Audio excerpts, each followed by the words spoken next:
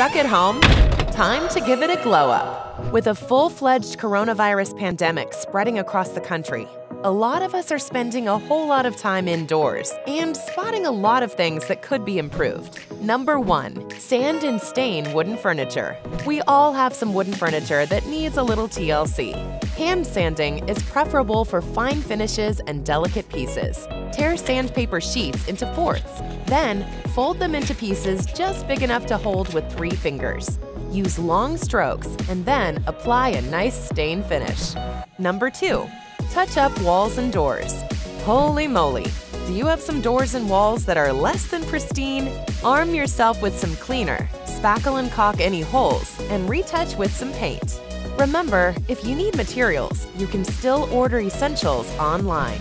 Number 3. Tidy up your junk drawers. Go through your drawers. You probably have a lot of junk. Empty out each drawer, deep clean it, and then organize only what you really want to keep. Number 4.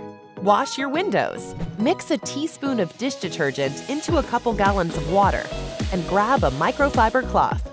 Give a little TLC to your windows, making sure to wipe in one direction. Number 5. Clean and repaint baseboards. Baseboards tend to get bumped and scratched pretty easily. Wash them with a mixture of water and a few drops of dish detergent. Let them dry completely, then add a coat of paint. To be on the safe side, add two coats and make your baseboards pop again.